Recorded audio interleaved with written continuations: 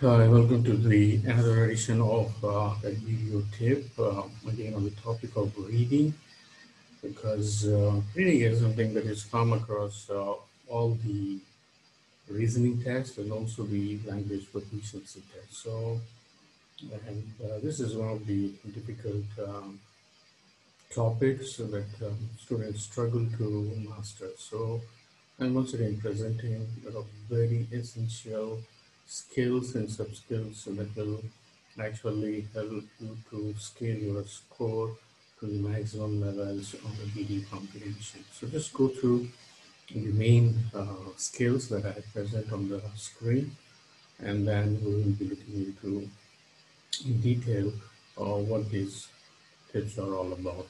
So first one is there is no substitute for reading, right? So you need to read as much as possible, read quality language and then um, knowledge of grammar and understanding the difficult sections. It's always handy. And then um, the point three and four, uh, both are about vocabulary. So I can't emphasize enough on the importance of the vocabulary. And then the last one is about um, understanding how a passage is structured will also help us and getting a control on what's going on in the passage. So read as much as possible online, offline, blog, articles, newspapers, magazines, right? And uh, as you read, um, pause as often as possible, especially at the end of uh, each paragraph and ask some questions. So what's the main idea? Uh, what is the author trying to convey here? Why is he writing? Where is this written? Who is this written for? So ask and uh, summarize that. If you're able to do that, yes, you are able to follow it. And the next one is about um, the knowledge of uh, grammar, the words, sentences, phrases, clauses, right? So uh, every part of a sentence has got its own role to play, maybe introduce it, maybe complete it. You should be able to see things clearly. And also there are, um, you know, pronouns and pronoun references.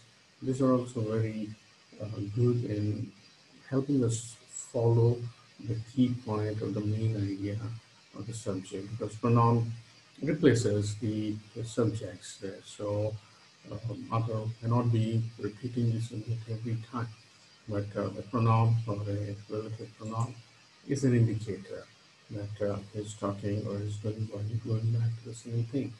Now the next one is about um, yes vocabulary.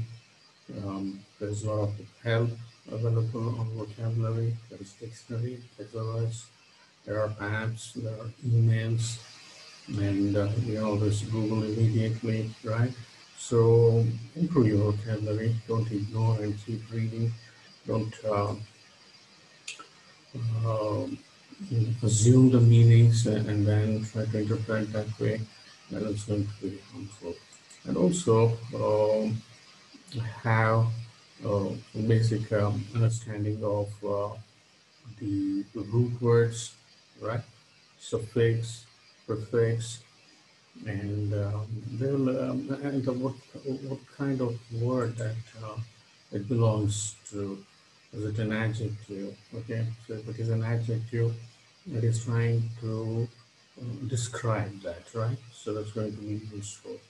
So pay attention because you'll not be always uh, having the access to a certain resource to check the meaning, especially in the test conditions.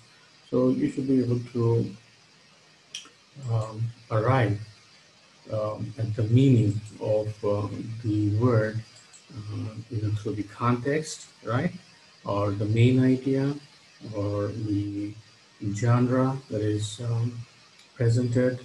And uh, so there are many, many clues that are already available. So you don't have to have always a dictionary to check the meaning of the word. So once you know the meaning, then you will be able to understand the meaning idea. And finally, um, how the passage is structured right? There is always a flow and ideas are interconnected. Ideas are progressed in a certain way. And then how it is done, there are lots of clues already made available by the author in the passage. So the logical connectors that you see on the screen, and then there is always a main idea to support the main idea.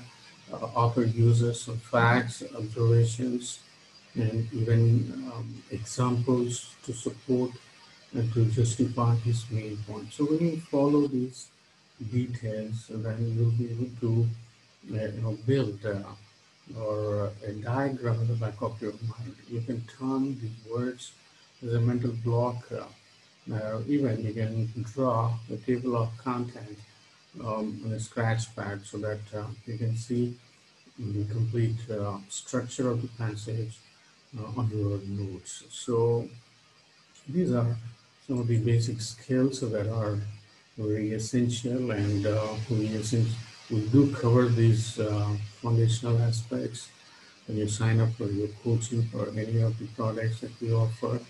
And if you're interested about uh, our coaching uh, products and the details, uh, do write to us or call up the number that you see here.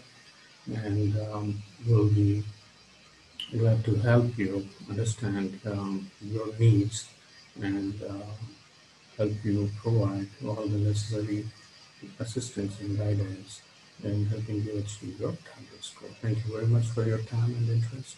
All the best with your preparation.